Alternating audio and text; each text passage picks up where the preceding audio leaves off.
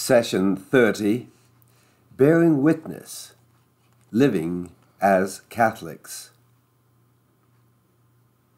Our hymn for all the saints.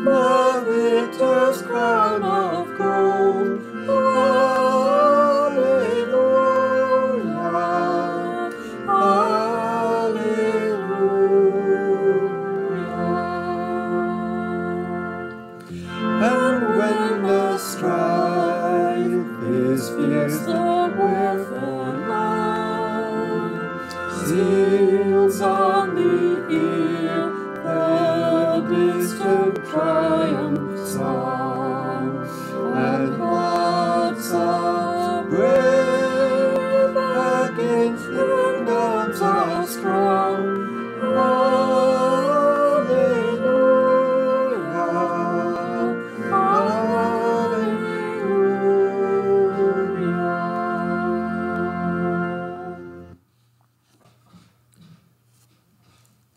In the name of the Father, and of the Son, and of the Holy Spirit. Amen.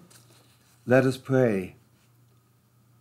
God, our Father, look upon us with love. You redeemed us and made us your children in Christ. Give us true freedom and bring us to the inheritance you promised through our Lord Jesus Christ, your Son, who lives and reigns with you in the unity of the Holy Spirit God for ever and ever. Amen. The Lord be with you. And with your spirit. A reading from the Holy Gospel according to Matthew. Glory to you. Jesus said to his disciples, You are the salt of the earth. But if salt loses its taste, with what can it be seasoned? It is no longer good for anything but and trampled underfoot. You are the light of the world. A city set on a mountain cannot be hidden, nor do they light a lamp and then put it under a bushel basket. It is set on a lamp stand, where it gives light to all in the house.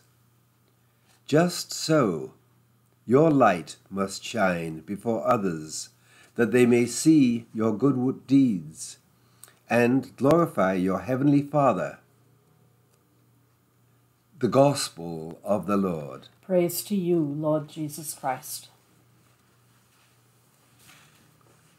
So, our subject matter bearing witness, living as a Catholic, what the Church teaches.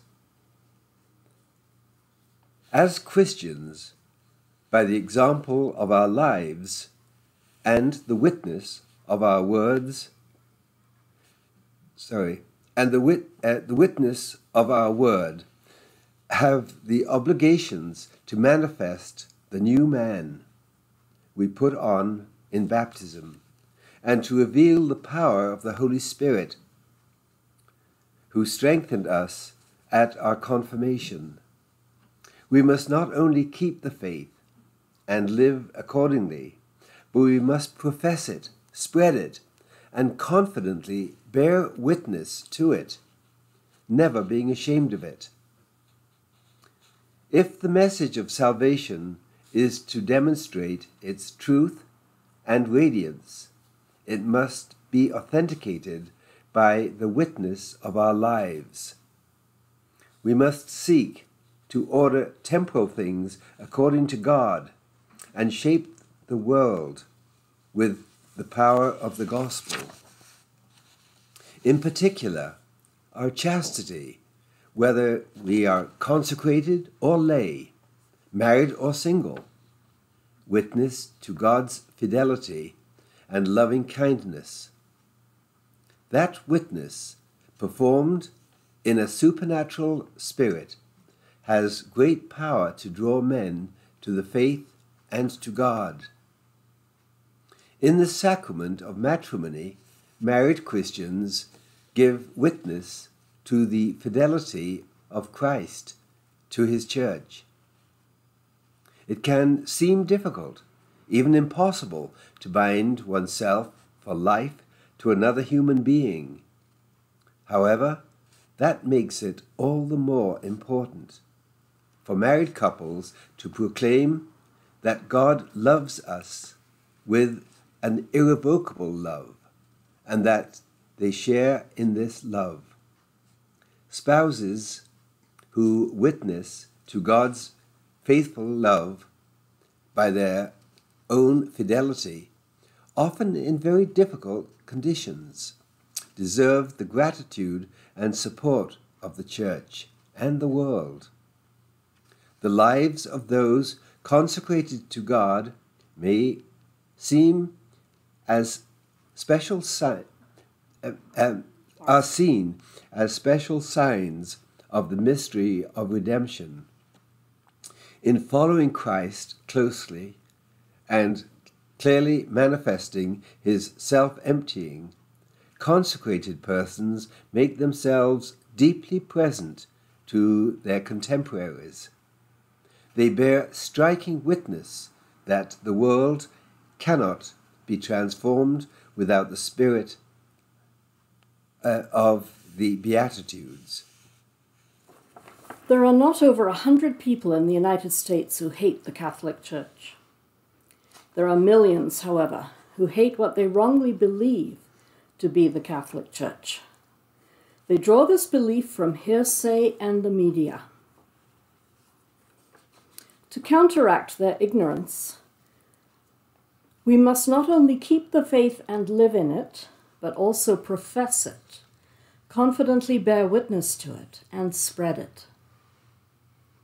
Keeping the faith means knowing the truths of our faith, like those in the creeds, in an adult way, not just childish.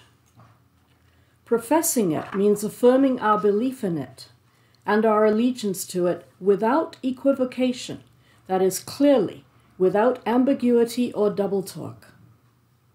Bearing witness to it means living and acting according to our belief. All this takes courage, for as Christ said, the world hates us because of him.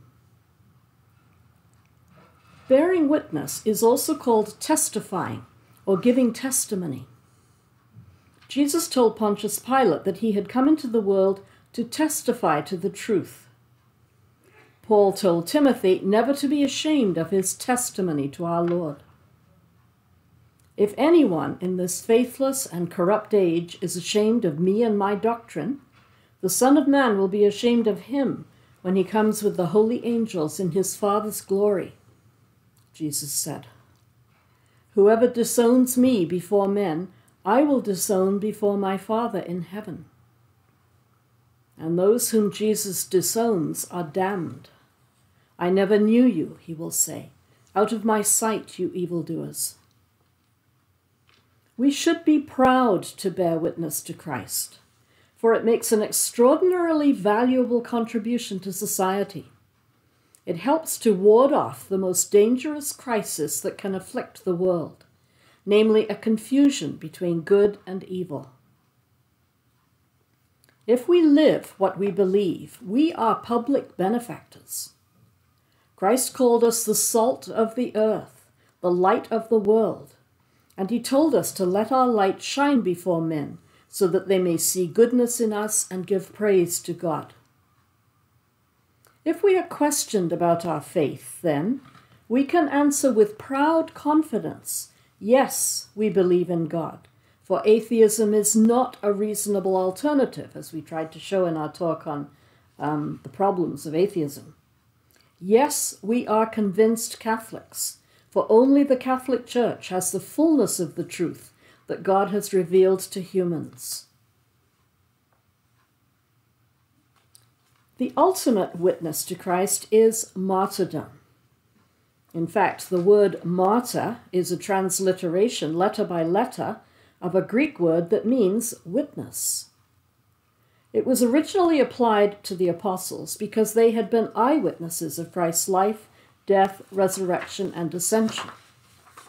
For example, when Peter proposed electing someone to take Judas's place, he specified one of those who was of our company while the Lord Jesus moved among us, who will be witnesses with us to his resurrection. For Jesus had given his apostles a mandate. You will receive power when the Holy Spirit comes down on you. Then you are to be my witnesses in Jerusalem, throughout Judea and Samaria, yes, even to the ends of the earth. However, as opposition to Christianity spread, the word martyr came to include people who had been persecuted for their belief. And finally, it came to be reserved for those who had suffered death, which included all the apostles except John. From the beginning, martyrs were specially honored, and martyrdom was considered to be a baptism of blood, equivalent to normal baptism. Many Christians have welcomed martyrdom. On his way to Rome in 107 to be thrown to the lions, Ignatius of Antioch wrote to the Romans, My birth is approaching. Do not hold me back from living. Polycarp, who died about 155, praised God for judging him worthy to be counted among his martyrs. Teresa of Avila said that as children, she and her brother settled to go together to the country of the Moors in North Africa, that they might there be beheaded. St. John de Brebeuf, a missionary to the indigenous people of North America who was martyred in Canada March 16, 1649, by the Iroquois, made a vow to God that he would not try to avoid martyrdom, and wrote in his diary Two days in succession, I have felt in me a great desire for martyrdom and for enduring all the torments the martyrs have suffered. You want to know more about this very admirable saint, we've put some um, information there in footnote 26.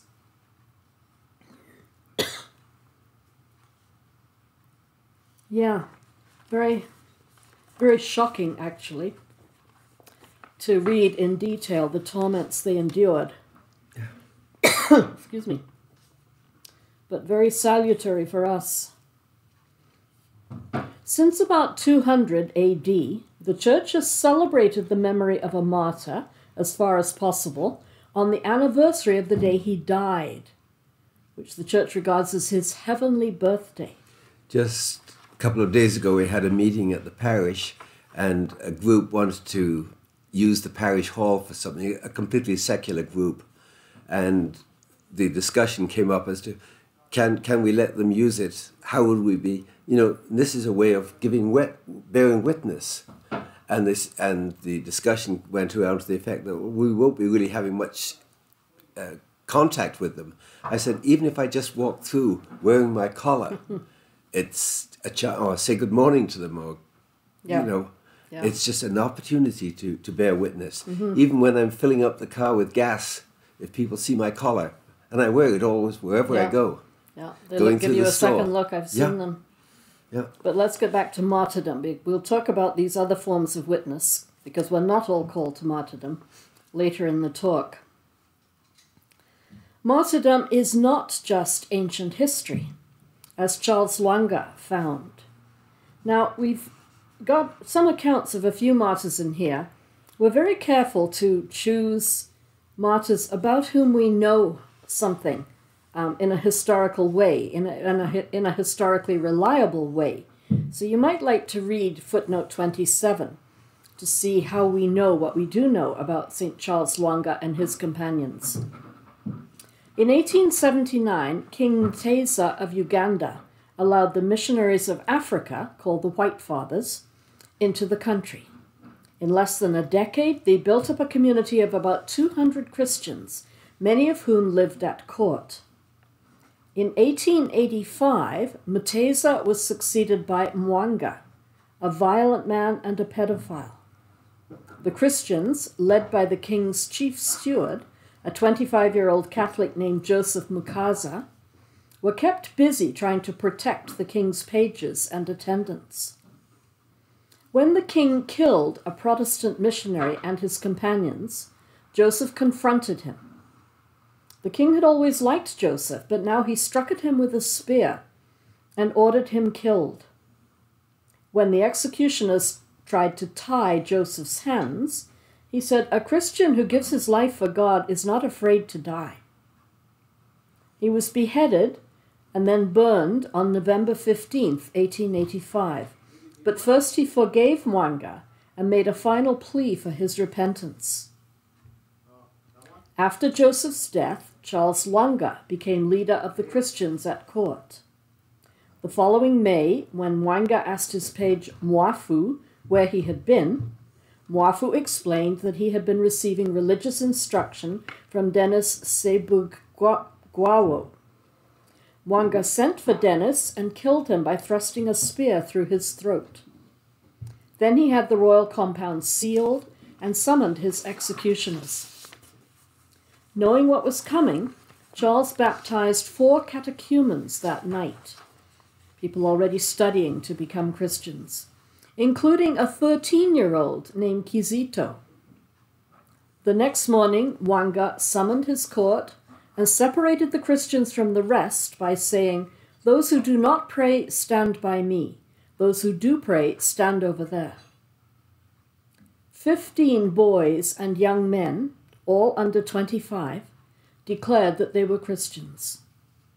Besides Kizito, the 13 year old, they included Mbaga, who was the son of the king's chief executioner, who was offered a chance to escape but declined. It included Andrew Kagwa, a Kigawa chief, who had converted his wife and several others, and Matthias Murumba, also known as Kalemba, an assistant judge. Mwanga ordered that they be taken on a 60 kilometer trek to Namugongo and executed there. On their way, they passed the home of the White Fathers. One of the priests gave them absolution as they marched by. Kizito was laughing and chattering, the priest said later, and James Buzabalyawo, a soldier who had joined the rest voluntarily, lifted his bound hands and pointed upward, asking, Why are you so sad? This is nothing to the joys you have taught us to look forward to. No doubt your God will rescue you, the king's chief counselor said sarcastically to Matthias. Yes, Matthias answered, but you will not see how he does it, because he will take my soul and leave you only my body. In a rage, the counselor ordered him to be cut up there and then. In fact, as the trek proceeded, the counselor became so furious with Andrew that he vowed he would not eat until Andrew was dead. As the executioners hesitated, Andrew said, Don't keep your counselor hungry, kill me. On June 3rd, seven days after the caravan reached Namugongo, Mbaga was killed by his father's order He was the son of the chief executioner. And the rest were wrapped in reed mats and placed on a pyre to be burned alive. In all, in all, 13 Catholics and 11 Protestants died, calling on the name of Jesus and declaring, You can burn our bodies, but you cannot harm our souls. Not long afterward, the king expelled the White Fathers from Uganda. However, the lay Christians carried on, translating the catechism into their own language and giving instruction in the faith secretly. When the White Fathers returned after King Mwanga's death, they found 500 Christians and 1,000 catechumens waiting for them. The Ugandan martyrs were beatified in 1920 by Pope Benedict XV and canonized in 1964 by Pope Paul VI. Their feast day is June the 3rd, the day on which most of them died. Now, um, beatification and canonization we haven't talked about in detail, but if you're interested, you can have a look at Appendix 1 to this talk, which describes what the church means by it. Many Christians have preferred martyrdom to apostasy, in which faith itself is lost. However, we deny Christ by any mortal sin. Accordingly, Dominic Savio took the motto death rather than sin. It aptly describes Maria Goretti's choice. Now, again, we know quite a bit about Maria Goretti. Um, most of it, most of what we're going to say, it comes principally from the testimony given by her murderer, Alessandro Serenelli, toward her beatification. Maria was born October 16, 1890, on a small farm at Corinaldo, near Ancona, Italy. The third of seven children, she was, in the words of her mother Assunta, happy, good, open hearted, without whim, but with a sense and seriousness beyond her years, and never disobedient. In 1896, so when Maria was six, the family moved to Ferriere di Conca, where her father formed a partnership with the Serenelli family. Three years later, he died of malaria, and the family moved on to the Serenelli farm in order to survive. Maria did housework and looked after the younger children, while her mother worked on the farm. Before long, 19 year old Alessandro Serenelli, the son, began making advances to Maria. She repulsed him, but said nothing about it because he threatened to kill her and her mother if she did. Finally, when she was 12, Alessandro attacked her outright. She resisted him, crying out, No, it is a sin. God does not want it. You will go to hell. Furious, Alessandro stabbed her 14 times. Several blows passed right through her body. It always impresses me that she was concerned for his welfare, not for herself. Right. Maria was rushed to the hospital at Nettuno, but nothing could save her life. The next morning she was given Holy Communion, but first she said clearly that she forgave Alessandro, that she would pray for his repentance, and that she wanted to see him in heaven. She died on July 6, 1902. Um, just looking at footnote 32, Maria had received her first communion in 1901. However, at this time in the Church's history, in spite of the Church's teaching, daily communion had become uncommon for fear that it would be received unworthily or merely out of habit. Between 1905 and 1907, Pope St. Pius X issued 10 documents advising everyone to receive communion frequently, even if possible daily. In 1910, he issued a decree restoring the ancient practice of having children receive their first communion as soon as they reach the age of discretion, which, of course, comes to some of us earlier and later, or later than others. So she had received her first communion, but the morning after the attack, she was given Holy Communion. After eight years in prison, Alessandro repented. Released for good behavior after 27 years, he begged forgiveness of Maria's mother and became a Capuchin lay brother. He gave evidence at the judge's inquiry into Maria's life, and along with Maria's mother, brothers, sisters, and some 250,000 other people, saw Pope Pius XII beatify her in 1947 and canonized her July 25, 1950. Her feast day then is July 6, the day she died.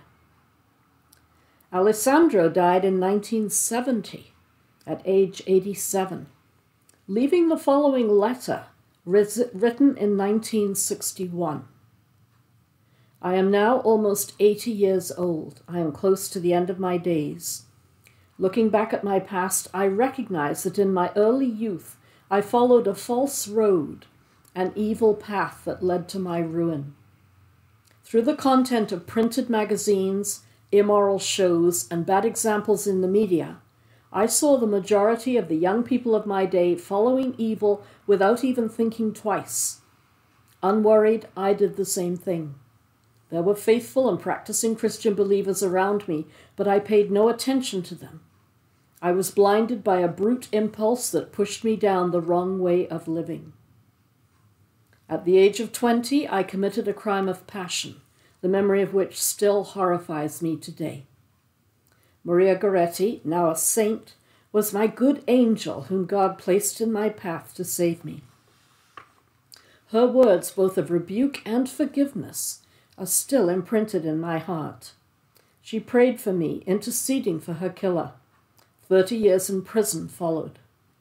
If I had not been a minor in Italian law, I would have been sentenced to life in prison. Nevertheless, I accepted the sentence I received as something I deserved. Resigned, I atoned for my sin. Little Maria was truly my light, my protectress. With her help, I served those 27 years in prison well. When society accepted me back among its members, I tried to live honestly. With angelic charity, the sons of St. Francis, the minor Capuchins of the Marches, welcomed me among them not as a servant, but as a brother. I have lived with them for 24 years. Now I look serenely to the time in which I will be admitted to the vision of God, to embrace my dear ones once again, and to be close to my guardian angel, Maria Goretti, and her dear mother, Assunta. May all who read this letter of mine desire to follow the blessed teaching of avoiding evil and following the good. May all who believe with the faith of little children that religion with its precepts is not something one can do without. Rather, it is true comfort and the only sure way in all of life's circumstances, even in the most painful. It's a beautiful letter. It's a beautiful letter, and from what you tell me and what another priest has mentioned, pornography, so available now on the internet, is it was his downfall. Yeah, so much, so much um, such a proliferation compared to in his day, yeah. little a century and a half ago almost now. But it, it, one almost wishes that one would see Assunta uh, canonized yeah. for her forgiveness yeah. of her daughter's murderer. She died in 1902, by the way, so it's century and a quarter, maybe. Yes. Yeah. Yes. Even less than what you said. So relatively recently. Then Thomas More Thomas More, whose life is accurately portrayed in Robert Bolt's play and the film, A Man for All Seasons, tried his best to avoid martyrdom. Now, that play is based on the account or uh, the biography of Thomas More written by his own son in law at the time. So, again, this pretty reliable history. Trained as a lawyer, Sir Thomas More became Lord Chancellor of England under King Henry VIII in 1529.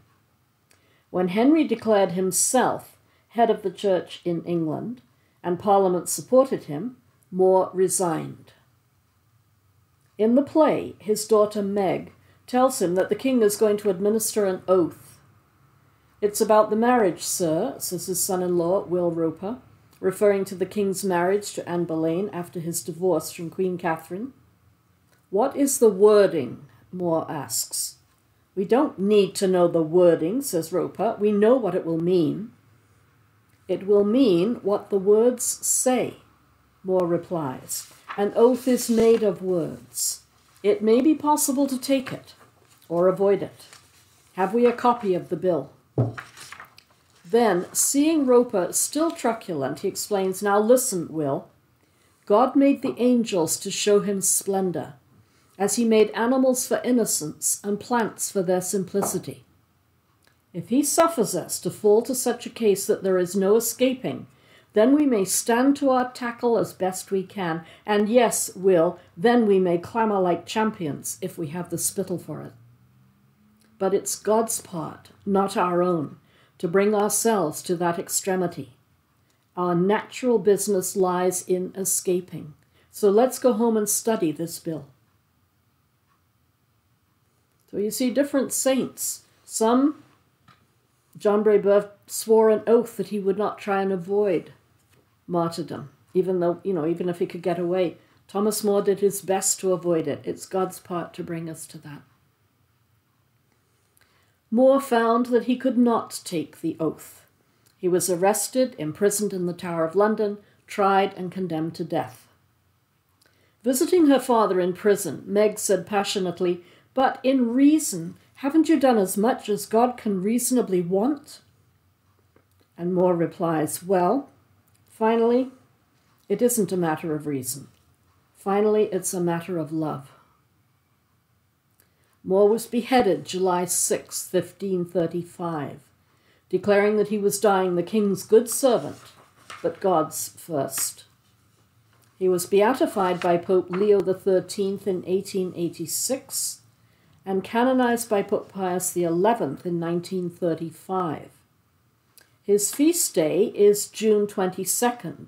You might wonder why, when he was beheaded July 6th, but on June 22nd of that same year, St. John Fisher, Bishop of Rochester in England, had been beheaded by King Henry VIII for the same reason as More.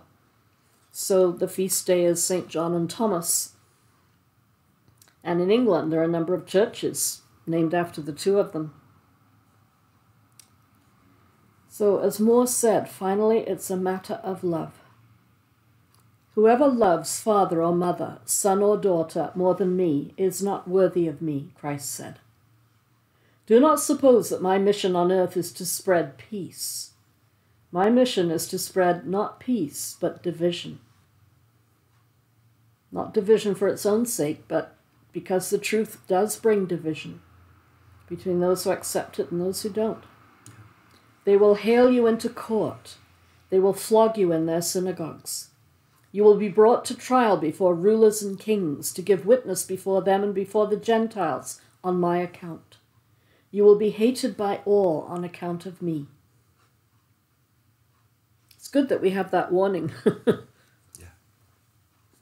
However, the martyrs have always argued like Christ. What profit does a man show who gains the whole world and destroys himself in the process. This is how Susanna reasoned in the book of Daniel. This year we heard that long gospel.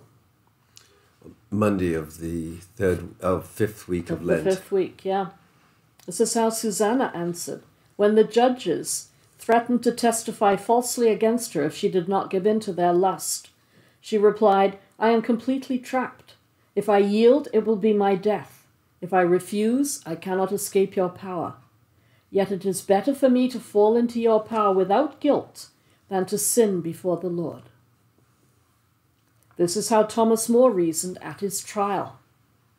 In the play, as Sir Richard Rich leaves the witness stand after his perjury, More says, That's a chain of office you are wearing. May I see it? Reluctantly, because Rich has been a friend of More's and has now brought about his condemnation through perjury, so reluctantly Rich stops and More examines the medallion. The red dragon, he says. What's this? Told that Rich has been appointed Attorney General for Wales, He says with pain and amusement, For Wales? Why, Richard, it profits a man nothing to give his soul for the whole world. But for Wales. Real sense of humour. In canonizing martyrs, the Church confirms the truth of their judgment, according to which the love of God entails the obligation to respect His commandments, even in the most dire of circumstances, and the refusal to betray those commandments, even for the sake of saving one's own life. Let's stop at that point and take a break. Mm.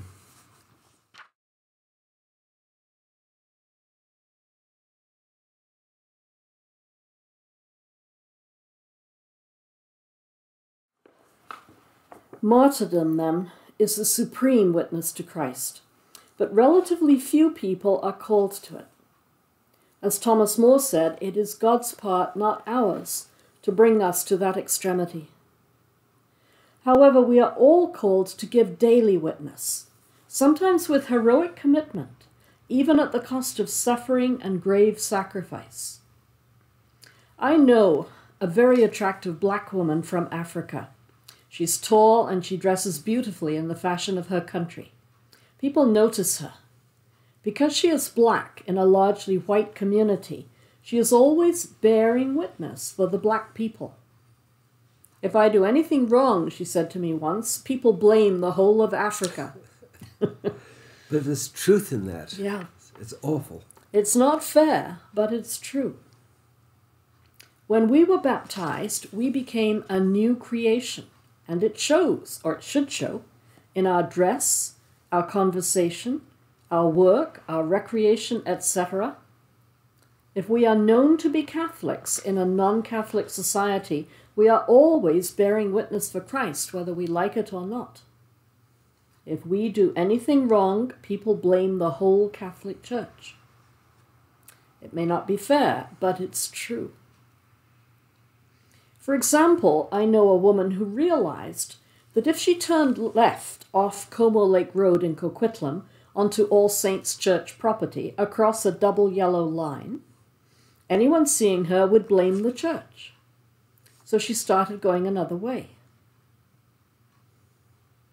There are three enemies we must fight against all the days of our life the world, in the bad sense, the flesh, and the devil. However, it is our fight against the world that makes us stand out, for the world is everybody. In the face of the world, bearing witness to our faith requires the courage to be different. Here, I just have to acknowledge the good job my parents did in our family. Not trying to make us be different for the sake of being different, but reassuring us that this is what would happen if we lived like Catholics. For example, being a Catholic can mean missing a game or turning down a job in order to go to Mass on Sunday. Crossing a picket line when the strike is illegal or immoral. Withdrawing from the inner ring if the group starts bullying.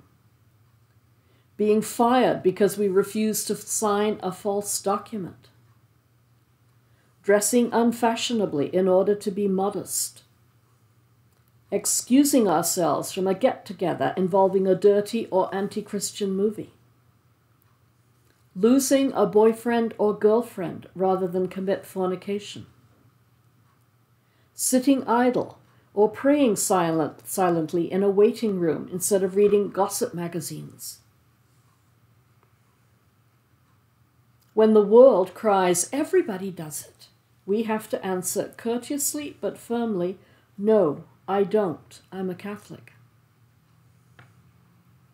We must not be self righteous, holier than thou prigs. Whatever we do, we must do out of love, whether we remain silent, speak, correct, or forgive. That's from St. Augustine. If anyone asks us the reason for our behavior, we must be ready to reply but speak gently and respectfully, St. Peter said, not presuming to judge anyone else's conscience, and always more aware of the plank in our own eye than the speck in our neighbor. I think it might be, you know, people say you mustn't be judgmental. We have to be judgmental with respect to objective right and wrong. Where we must avoid judgment is, am I right, Father, in Condemning. condemning or approving anybody else's conscience. Oh, the before subject God. Guilt, yes. Right. Daily witness to the faith means prudently avoiding even the appearance of wrongdoing. For example, an unmarried couple may live together chastely, but they tempt others to judge rashly or justify their own immorality. The way we dress sends a strong message about who we are. For example, I taught all my life in a public school, and I would dress up as a nun for Halloween. I would always be amazed at the way it drew people's attention to Christ. I remember one man, now dead, as I walked through the halls dressed like that, he said, Dominus vobiscum, which in Latin, the Lord be with you, which we used, the priest used to say at Mass, and I replayed et cum spiritu tuo. I hadn't known before that that he was Catholic. And I know, Father, you've got countless examples. Your clericals have the same effect. Yes. I've even had, you know, been walking through a par- uh, parking lot and heard people cussing and swearing, looking up, seeing me, and saying, Oh, sorry, Father. Just the, my wearing of a collar Yeah. reminded them that they shouldn't have been talking the way they were. Yeah. And I think you said uh, it even encourages people to obey the law, crossing. Yeah, I've, I've seen it when I've been standing at, at a crosswalk waiting for the light to change. People starting to walk across from the opposite side, looking up, seeing me, and stepping back almost as if I was a cop ready to give them a ticket. Yeah. Yeah, it, it, it does draw their attention, doesn't it? But it also stops me doing things such as jaywalking. Because let's face it, I'm just as tempted to everybody else is doing it. But Yeah. it's, it's wrong and don't, just don't do it. Right. For lay people, daily witness to Christ means dressing modestly, even if modesty is out of fashion. Modest dress is hard to define, for it varies with time and place. But we always we all recognize dress that is designed to be sexy. That is, to call attention to parts of the body that normally arouse sexual desire. I once, in, in school, I once heard one girl, I taught in high school, so these were 16, 17, 18 year olds. I once heard one girl tell another as part of a story. Of course, the guys were all still after her because of the way she was dressed. That's all I heard. Sometime later, when a student taking photography showed me a photo he had taken of a girl dressed and posed like a model, you can imagine it, I showed it to this same girl. I said, What does that picture say to you? She looked for a moment, grinned, and said candidly, Come and get me. Immodest dress tempts us and others to sin, in thought, if not in word or deed. Many in our society have lost our inborn sense of modesty. Often it was killed by our mothers when we were small. As a result, we may have to ask others whether or not our dress is sexy.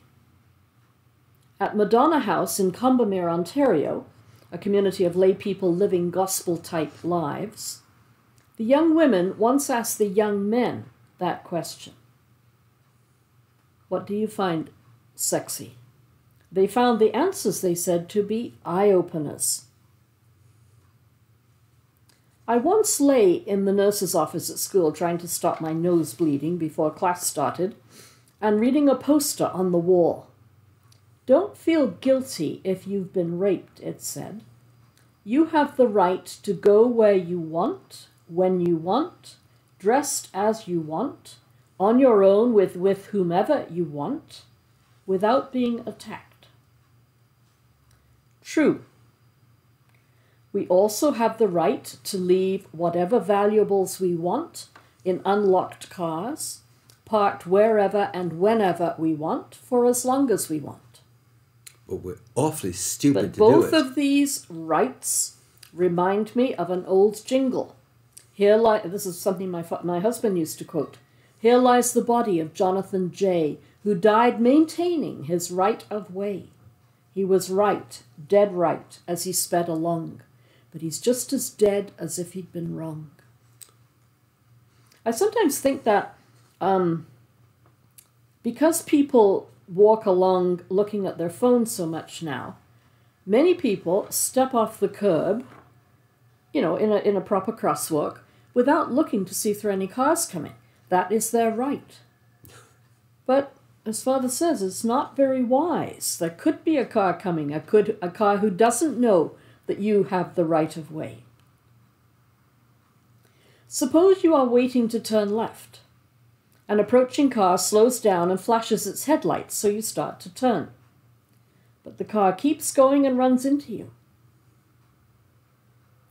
The problem is that flashing headlights can mean over a dozen different things. You might like to read some of the things it can mean in various parts of the world in footnote 63. And you're not always sure what it indicates, what No. it signifies. It may Even- mean coming through. Yeah, Watch out. yeah. the way you understood the signal may not be the way the other driver meant it. Sexual signals, including dress, can be similarly misunderstood. The solution is to learn the language, not just what we mean by it, but also what others understand by it. And then help it to help every and then use it to help everyone remain chaste. I'm just looking at footnote 65. Mothers, including my mother, used to teach their children the language of dress and behavior. For example, little girls were taught to sit with their legs together and not to lie on the floor. Little children were told to shut the bathroom door and to approach a woman, not a man, if they were lost. I don't think this is being taught nowadays. We'll come back to that in one of the appendices. So, our dress is important. Then, our conversation. We bear witness to Christ in our conversation not only by avoiding sins like lies, detraction, etc., but also in positive ways. For example, when I went back to work on Easter Tuesday after the four day weekend, everyone, again, this is a public school, everyone would ask casually, How was your weekend? Did you do anything special? Yes. When Father had a parish, I assisted at baptisms, confirmations, and receptions into the church. Of course, I would mention it. It would have been hard for me to hide it. Why not mention the Easter Vigil?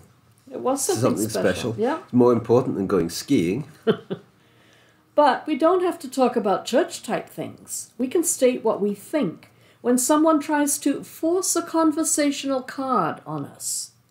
That is, when someone talks as though, of course, we, like them, approve of something evil, or disapprove of something good, or find virtue amusing, or condone crime and violence. Or just the way they constantly putting down of politicians as if, Yeah. you know, it's, it's not right. We No. owe them respect. But it can be done in a way that makes it difficult for you to disagree. Yeah. Well, of course, we all know what so and so's like. Yeah. and you're Yeah. supposed to go along with it. And you have to Yeah. say, no, I don't. Not everybody likes to talk to strangers, but I do. And I often ask them where their accents come from.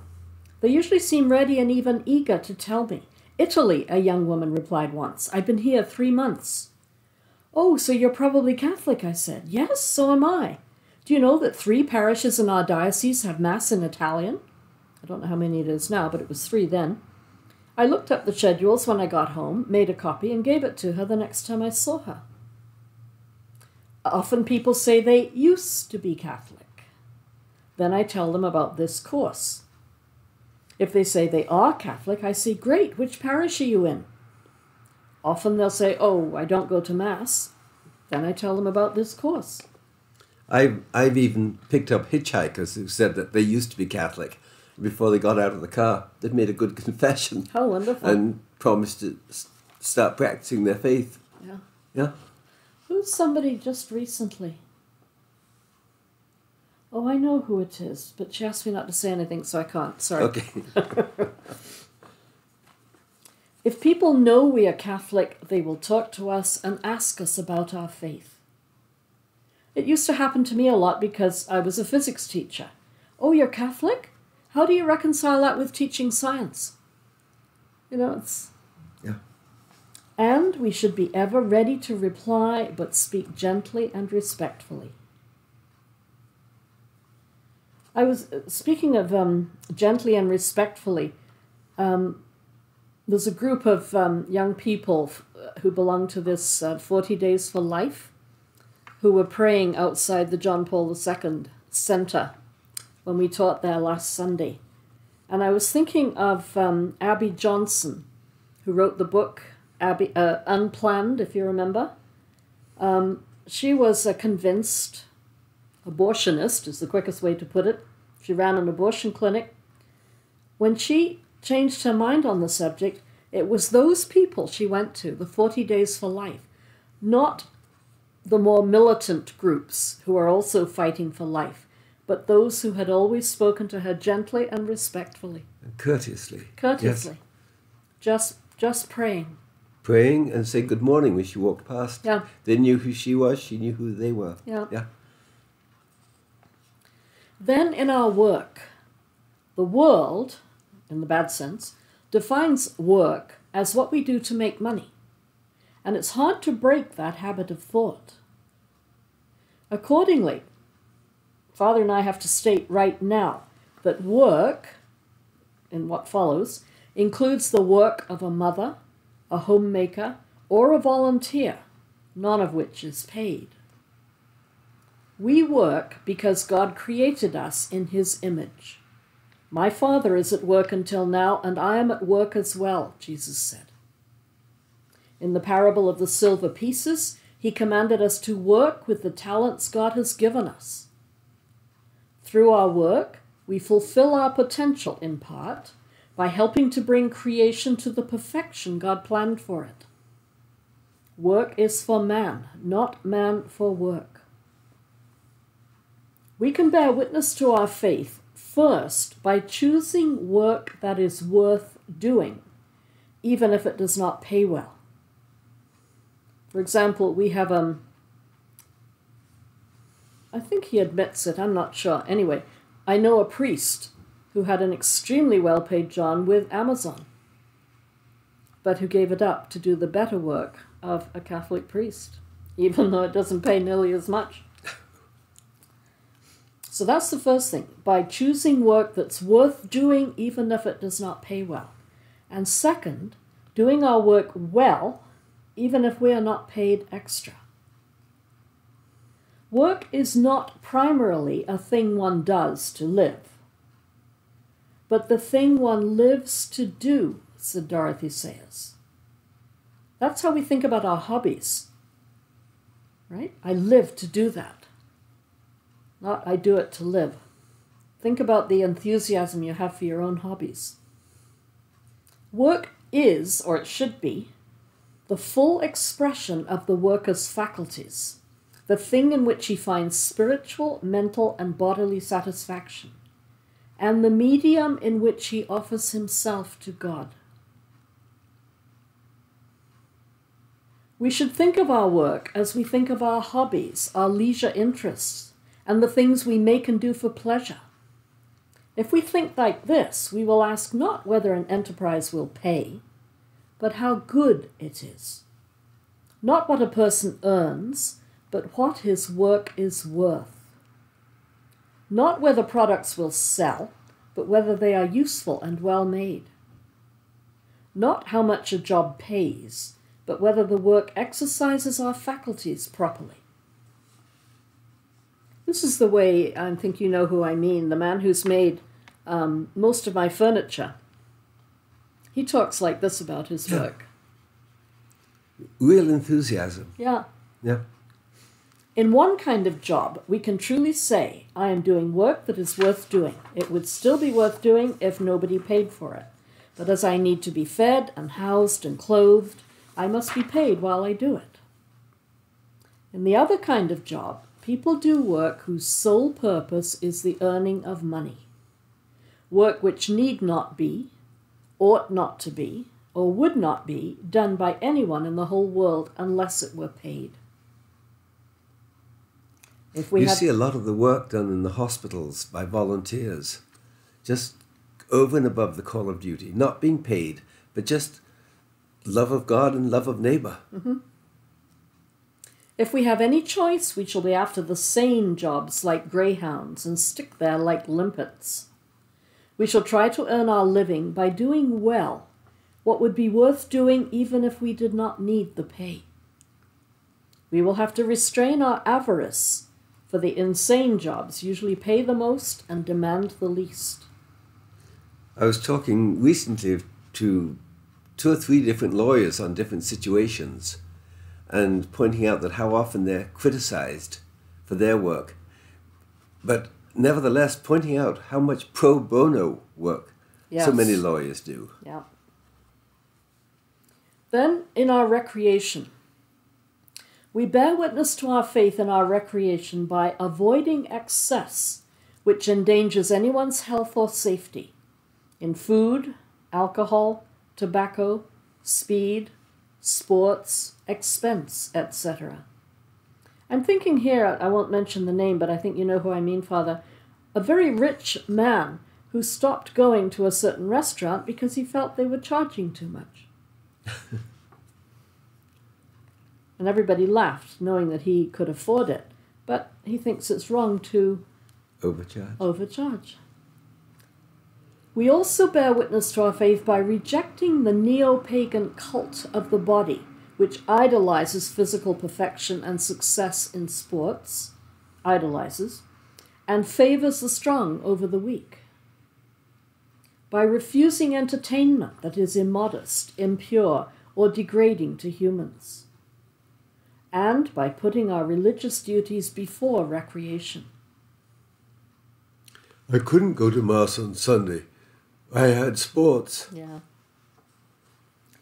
We bear witness to our faith not only by rejecting evil, but also by refusing to cooperate with it. For example, to order, advise, facilitate, approve, or praise it. However, we're all sinners.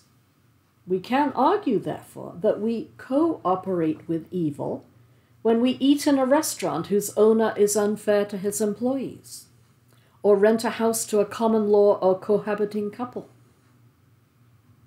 In fact, we can be said to cooperate with evil just by coexisting with others in a sinful world. Sins give rise to social situations and institutions that are contrary to the divine goodness. These structures of sin make us accomplices in evil? At what point must we refuse to cooperate with evil? Before we try and answer that, consider these examples. First, when the BC Teachers Federation became a union, some teachers refused to join, thereby risking their jobs, because the BCTF supports abortion, which it does actively. However, other anti abortion teachers did join, arguing that no one would suppose they were pro abortion just because they were members, and that their dismissal would leave the public schools with no teachers except pro abortionists. Who is right? Second, in 1982, United Way granted membership to Planned Parenthood, which is pro abortion. Accordingly, Archbishop James Carney of Vancouver announced that Vancouver's Catholic Charities and Catholic Community Services would no longer would, would accept no more funding from United Way as of January the 1st, 1983. What would you have done? And I, I understand that the Archdiocese used to receive a substantial. It was a substantial amount, yes. Yeah. Third, in Fiddler on the Roof, Tevye, a Jew, gives in when his first daughter wants to choose her own husband, and again when his second daughter wants to marry without his permission. But when his third daughter wants to marry a Christian, he refuses, saying, If I bend, if I try to bend that far, I'll break. What would you do?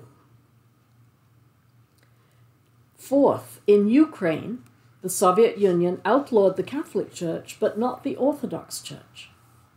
When the Soviet Union broke up, many Orthodox priests became Catholics. Presumably, they had stayed in the Orthodox Church so that the people would have access to the sacraments. The Orthodox Church has valid sacraments. What would you have done? Fifth, from 1957 on, China had a government approved Catholic Church which rejected ties to the Vatican and ordained and appointed bishops without Vatican approval. She also had an underground Catholic Church which was loyal to the Pope but persecuted. Which would you have joined? I'm just looking at footnote 94. With the provisional accord on the nomination of bishops signed by China and the Vatican September 22, 2018, and now in effect until, I don't think we updated this last year. Anyway, and in effect certainly till October 22nd, 2022, all government appointed bishops have reconciled with the Vatican, and five have been ordained with joint approval. That needs to be updated. I don't know what the situation is right now. Do you? I don't know. That's uh, almost a year and a half ago. Yeah, but the the the question is put just to show you the difficulty. Yes. In 1988, Father Vince, then editor of the BC Catholic, spent time blocking access to an abortion clinic. He was arrested, tried, and sentenced to time in prison. You didn't know he was an ex con, did you? Did he do the right thing? Many of our relatives are living in conjugal intimacy with people they're not married to. How should we treat them? One, one of my sisters invited me to the baptism of her daughter as an Anglican. Another sister was invited to the wedding of a man who had told her he was divorced. Two Catholics I know have been invited to homosexual so called weddings. Should we accept?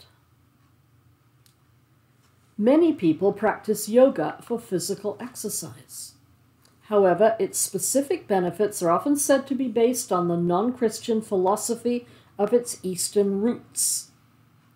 And we, yes, we talked about that in our Appendix 7 to the talk on the first three commandments. To what extent should we practice yoga? An area where there is great difficulty, sometimes you get parents whose children have moved in with each other and then they want to go into a, a marriage in a non Catholic union of some sort or another, and they invite their parents. One may say, if that's their relationship, I'm not even going to let them do, ma, um, darken our door. The other may say, no, in charity we need to. Which is right? It's both, in a sense, are right. Both are trying to Yeah. do what they can. Somewhere we must draw a line in our cooperation with evil. But it's hard to see where. And when we have drawn our own line, we must not criticize or condemn others for drawing theirs somewhere else. Now, this next bit reminds me of Fiddler on the Roof. When, when Tevye is wondering whether to let his daughters marry in the way they want, on the one hand, on the other hand, on the other hand, on the one hand, we must care about our neighbor's true good and authentic freedom, which we will not foster by um, concealing or weakening moral truth. On the other hand, we must never separate our clear and forceful presentation of moral truth from a profound and heartfelt respect for the person. On the one hand, charity towards souls demands that we omit nothing from the saving doctrine of Christ. On the other hand, we must present this doctrine with tolerance and charity. you can think of so many applications of, and all of that is from, what is it from? 96 on. Pope John Paul, Veritatis Splendor, and Pope Paul VI, Humanae Vitae. Tell the truth, but as St. Peter said, with respect and charity. Jesus, who came not to judge the world, but to save it, was uncompromisingly stern towards sin, but patient and rich in mercy towards sinners. Where do we draw the line? Uncompromisingly stern towards sin, but patient and rich in mercy toward sinners. Where do we draw the line? Paul, St. Paul, gives some helpful advice. Speaking about eating meat that has been sacrificed to idols, that is, false gods, he says, Eat whatever is sold in the meat market without raising any question on the ground of conscience. And if an unbeliever invites you to a meal and you are disposed to go, eat whatever is set before you without raising any question on the ground of conscience. This means, for example, that if we are invited to a wedding, we do not have to investigate whether the couple are free to marry, what they mean by their vows, etc.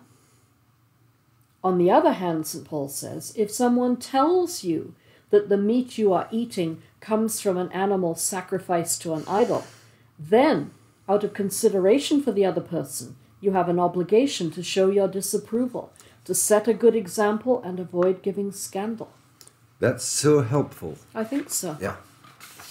This means that if one of the wedding couple tells you that he's already married and divorced, you might have to decline the wedding invitation so as not to condone an ambiguity about the nature of marriage. None of these are easy easy questions to describe to, to answer. Each situation is unique in a sense. Yeah. And and even even even if it weren't, the people trying to make the decisions are unique. Yes. Positive signs of our witness to Christ. We can bear witness to Christ positively by displaying statues, crucifixes, and saints' pictures in our homes, offices, cars, etc. Wearing crucifixes, scapulars, or medals of Mary and other saints. Making the sign of the cross when we pass a Catholic church. That's one I try to do always, and I think you do too, Father. Mm-hmm. Saying a prayer when we start driving. Saying a prayer when we hear a siren. Saying grace before and after meals, even in public.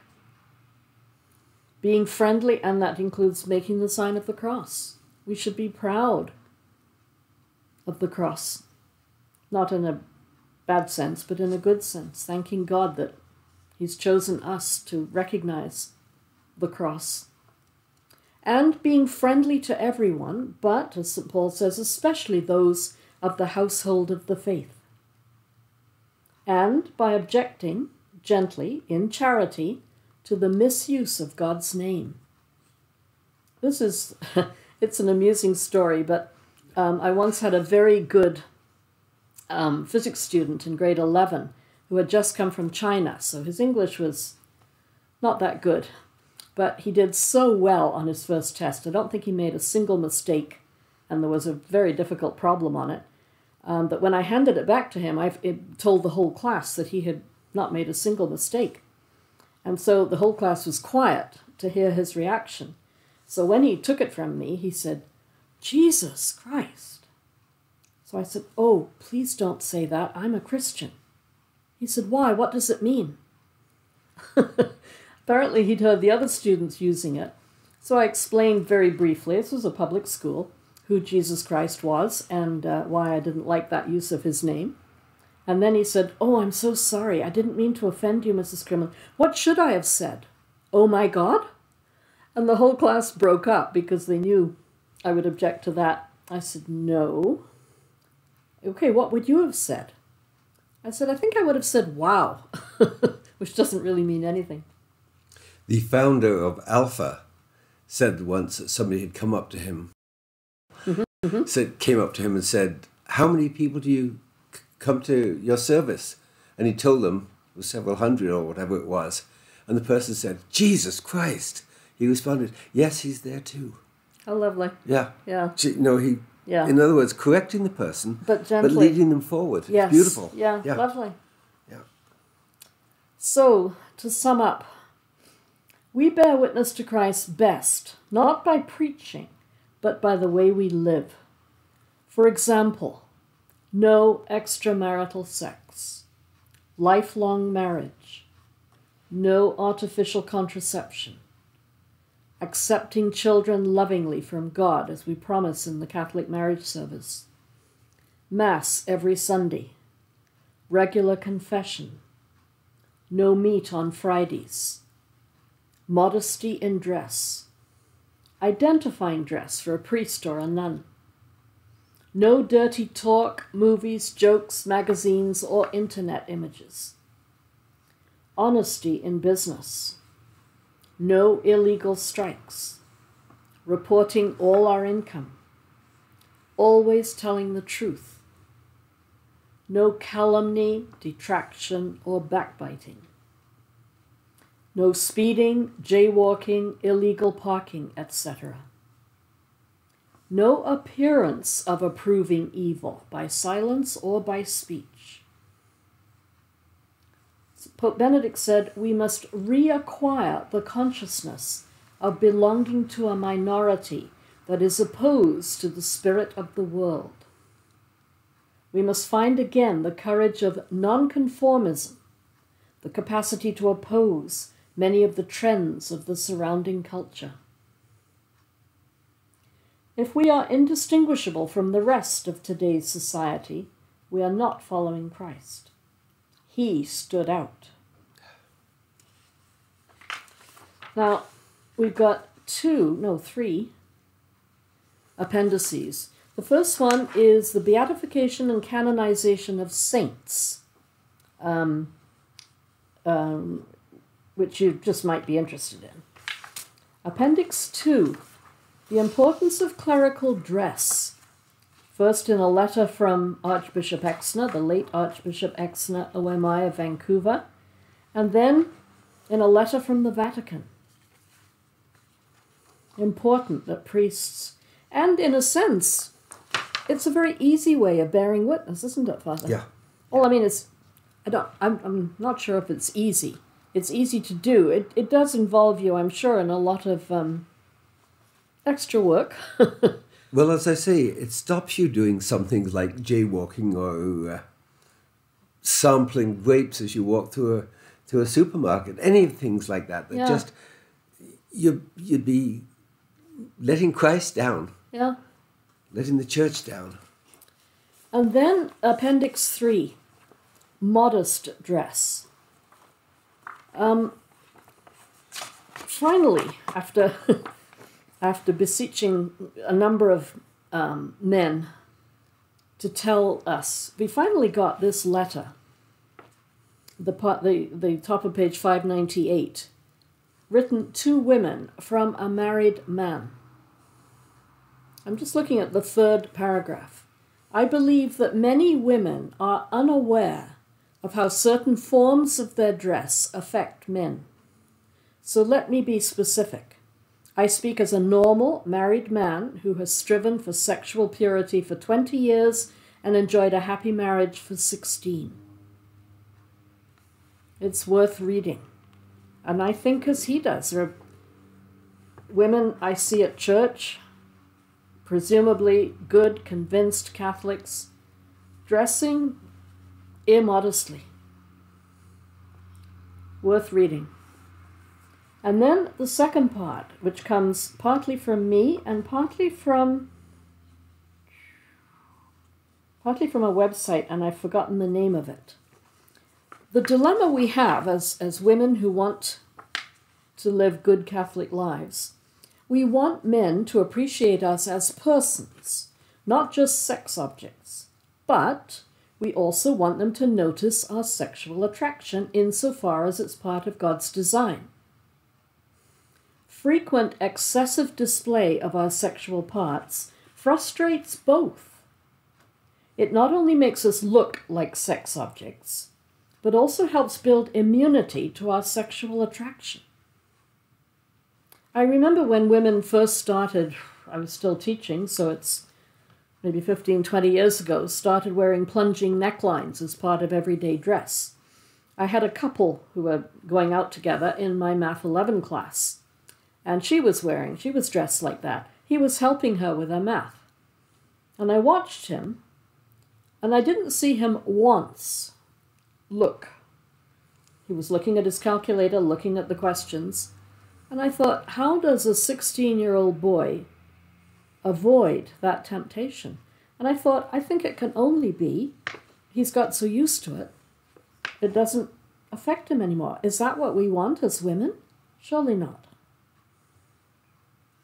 So, a number of um, a number of suggestions that I think perhaps women don't think about. That is, women who want to be modest.